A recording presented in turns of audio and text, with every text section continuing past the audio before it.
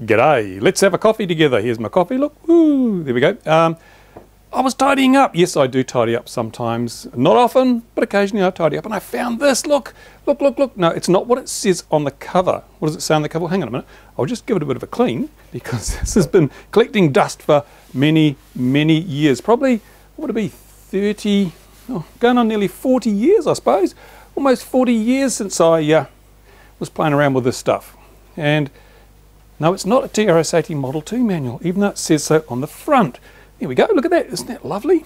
It stood the test of time well, hasn't it? Look, beautiful vinyl. Ooh, they don't make it like that anymore.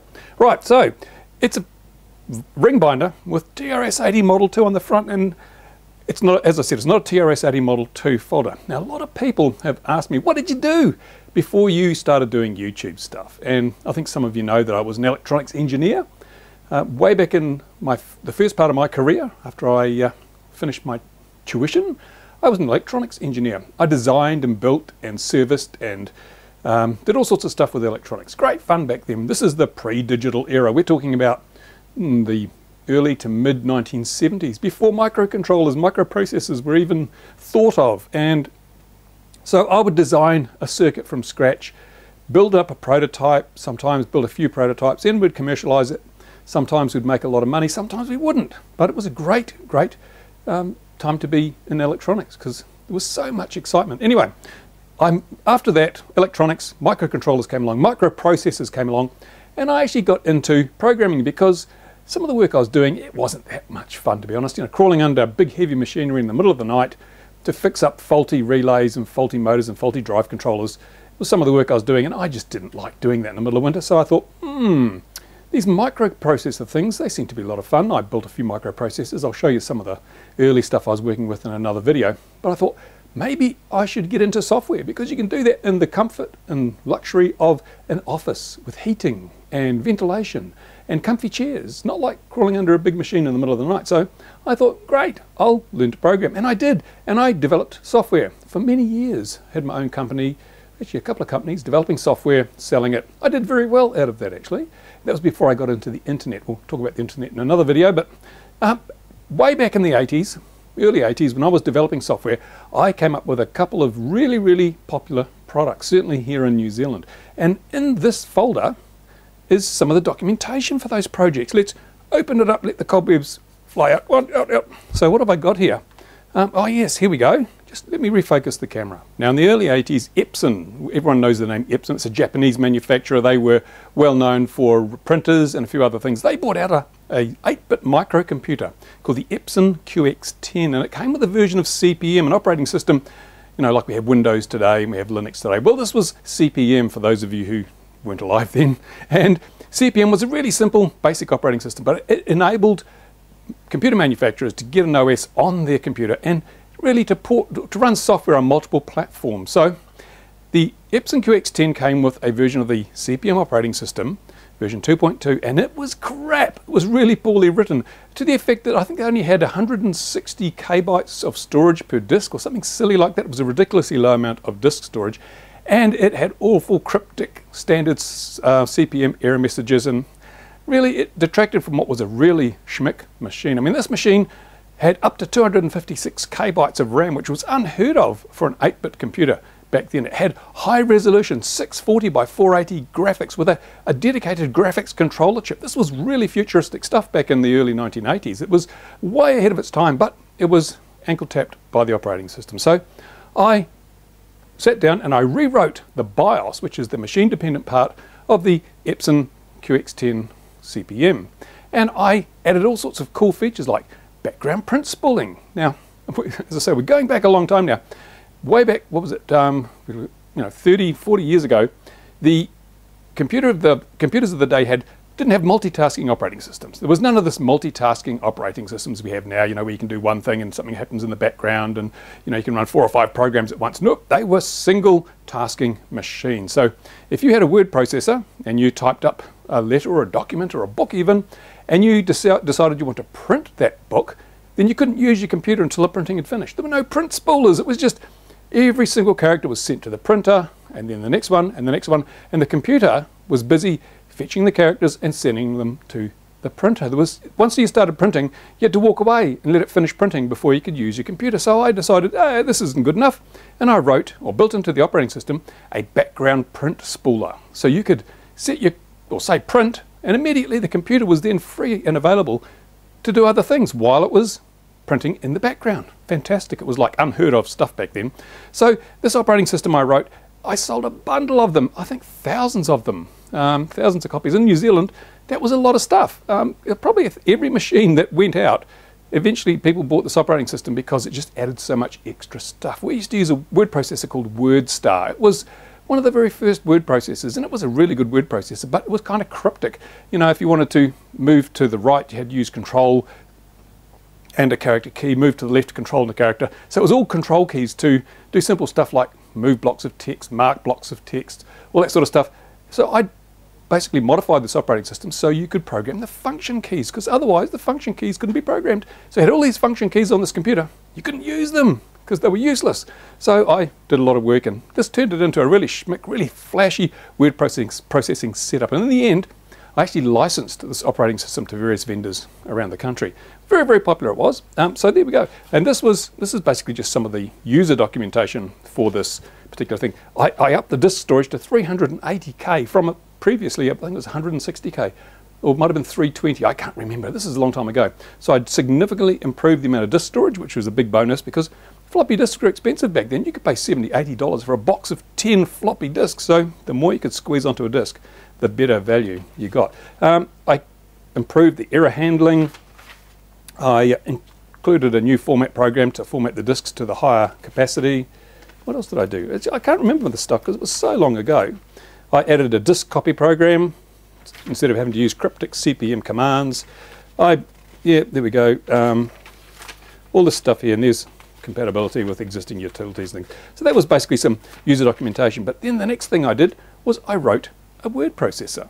Now word processors were nothing new. Everyone had a word processor on the computer, and as I said, WordStar was the most popular word processor of the day on CP/M-based computers, such as the Epson QX10.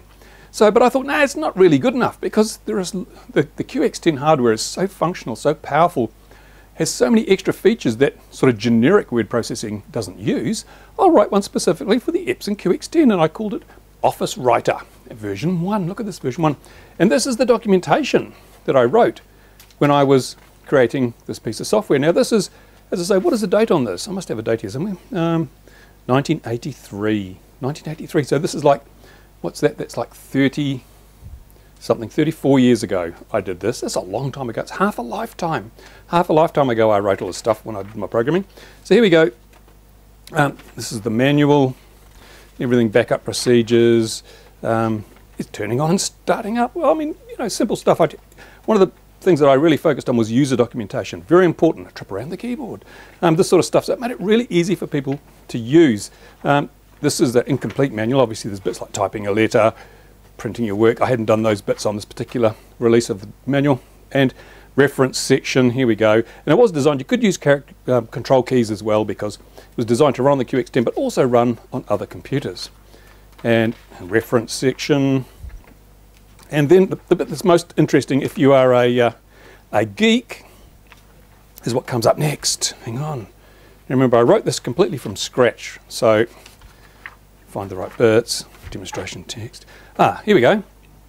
Here is the code or the documentation for some of the code, things like the keyboard polling routine, the status routine, the character, um, display routines, um, all these different things that from a programming perspective, little chunks of the program, little blocks of the program. So each of those was defined and the parameters were all included here if there were parameters. So it was documentation was something that's really important when you're writing software. So many programmers, especially back here when a lot of the microcontroller programmers, you know, they just taught themselves to program, so they didn't understand the importance of documentation. So they'd make something work, but when there was a bug or something else, or if you had to maintain their code, it was a nightmare. So I prided myself on doing my documentation. So, and of course, also flow diagrams. Now this is the logic of the program.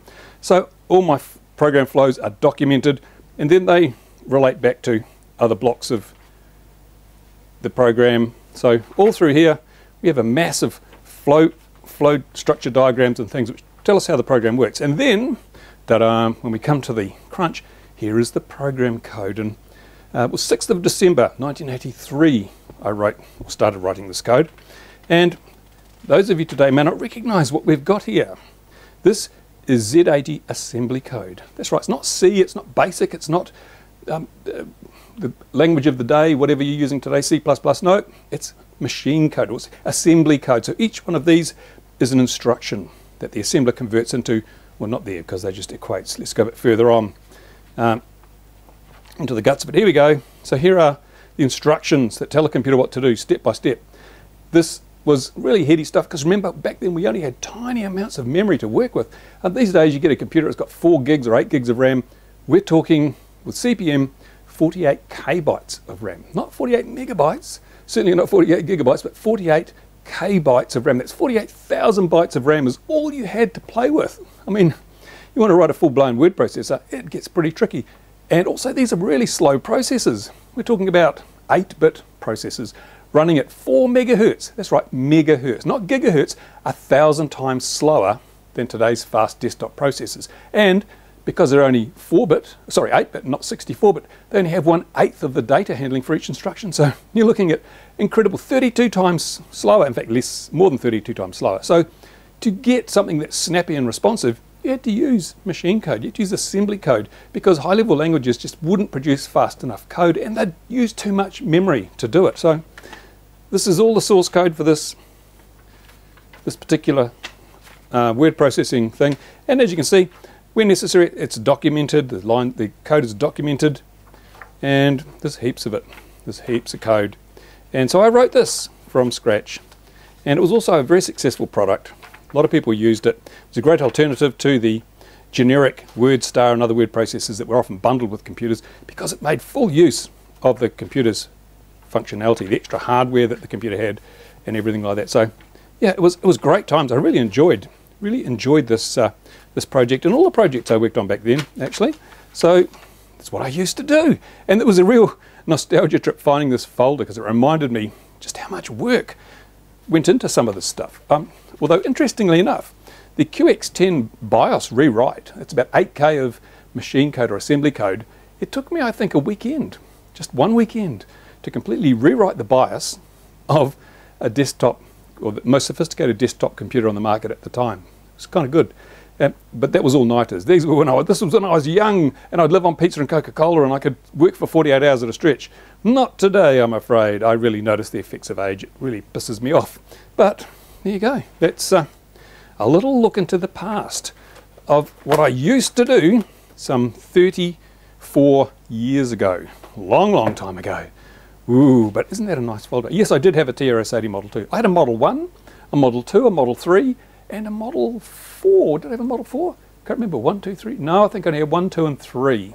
And they were great computers. Such a shame that Radio Shack is now history. I think someone else is using the name or something's happening, but it's not Radio Shack like we used to know.